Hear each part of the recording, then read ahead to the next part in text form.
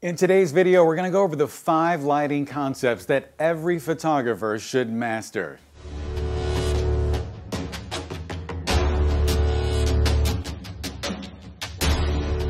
Welcome back, everyone. If you could please like and subscribe, I would really appreciate it. I hope that your year is off to a great start.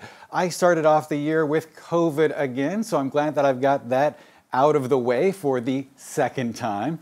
But as I've been relaxing over the past few weeks, I've been watching a lot of content on YouTube, including a series of photography lighting instructional videos from the 80s. And if that sounds like torture, believe me, it kind of was. The instructor used needlessly large words and confusing language while explaining basic concepts. And I couldn't decide if he was just relaying the information in the way that he learned it, or if he was trying to use big words to sound smarter, or perhaps he was trying to confuse most of the viewers as a method of gatekeeping. And I know this was very common back in the day that they would try to keep as many people out of the profession as possible, and thankfully, that's not where we're at today. And with that approach to teaching, uh, which uh, I'm just very surprised uh, that anyone learned anything, and I'm sure a lot of people would have felt intimidated and had difficulty understanding lighting. So in today's video, I want to share with you five key lighting concepts that will help you understand lighting and help you harness its power the next time that you're in the studio or on location. Hopefully without any pretense and hopefully with the most simple language possible. So the first concept that we'll discuss today is size equals softness. I've always heard it defined as the larger the light source is relative to your subject, basically how big it looks to them from their perspective, the softer it will be. Of course, the opposite is true as well. The smaller the light source looks to the model, the more crisp the shadows will appear. So let's look at two portraits of the same model. One where the light source looked very small to the model, and one where it looked rather large. If we look at the shadow from the nose in both images, you'll see that it's very sharp with the small light source and quite subtle with the larger source. The second concept is angle equals texture.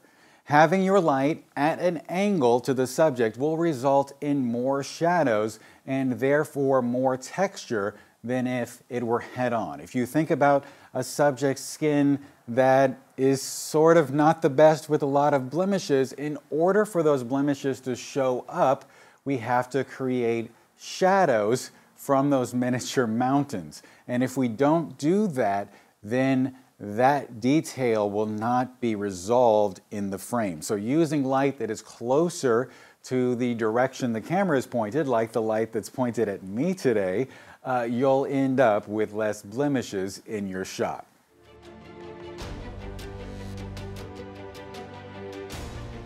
The third concept is more bouncing equals less contrast. When light bounces around a room, that light brightens up the shadows and decreases the contrast.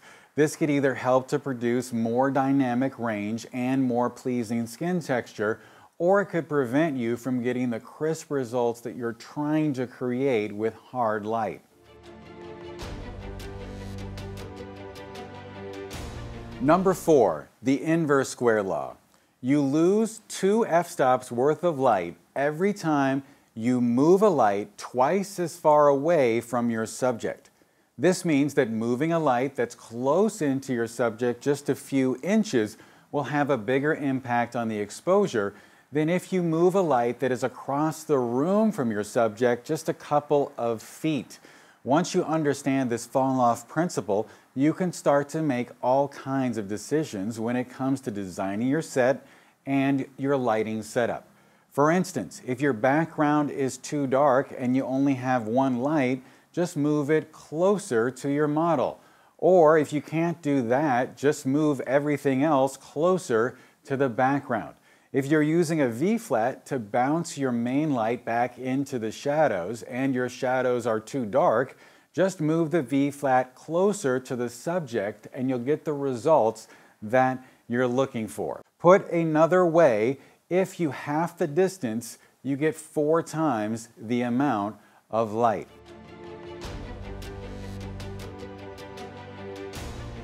Number five, color changes the mood. We associate sadness and cold with the color blue, and we associate happiness and warmth with the color yellow. So adding just a little bit of color with gels to your scene can have a huge impact on the emotion of the shot. Thank you guys so much for watching. If you enjoy learning from me in these videos, you probably would also love learning from me in person. And soon I'll be teaching workshops in New York, DC, Atlanta, Denver, LA, and here at my own studio in Chicago. So for more information and to sign up, just go to johngress.com slash workshops. Plus, if you sign up soon, you'll be able to save $50 with the coupon code EARLYBIRD. So stay safe, have a great day, and I will talk to you soon.